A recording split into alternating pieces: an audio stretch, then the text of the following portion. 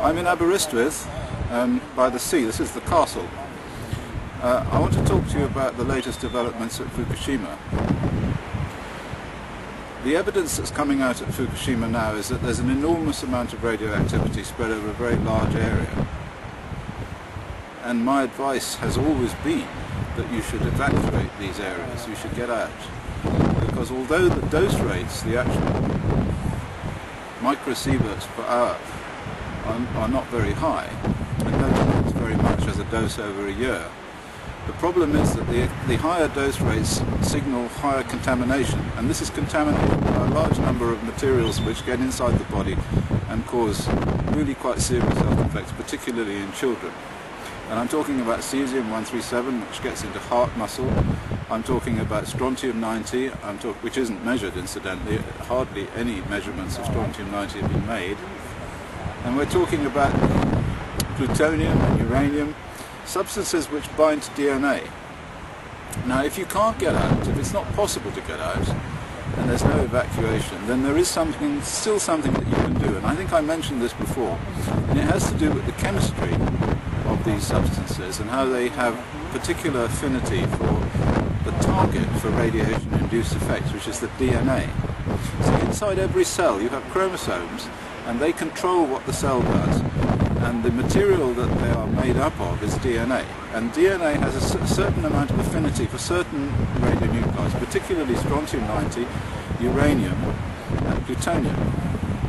Now just as you give iodine in order to block the access of radioactive iodine to the thyroid gland. In fact, it's quite reasonable in terms of physical chemistry, uh, standard physical chemistry, nothing peculiar, to give high doses of calcium and magnesium, which would effectively block the access of plutonium and strontium and uranium to the DNA. Now these substances are really quite harmless, so you can take significant quantities of calcium and magnesium without any effect at all you can take a, a, tablet containing about 800 milligrams of calcium, 350 milligrams of magnesium every day for an adult, and then a proportionate amount for a child. So for a child of 10, by weight, about half of that. So you want 400 milligrams of calcium and uh, about 175 milligrams of magnesium. Now these tablets are being made now, following my suggestion, by a number of companies in Japan and in the United States. And they're being sold on the internet. And this is a good thing generally. But actually you can buy these tablets quite cheaply, calcium and magnesium tablets, in any one of the health food shops that they have nowadays. I mean, in every country of the world you can, you can buy calcium and magnesium supplement tablets. And so my advice is that is for you to go out there and to buy these tablets and so that you take one a day because this will effectively reduce the concentration on the DNA of these dangerous radionuclides. If you can't get out, that is. So that's, that's my message for today.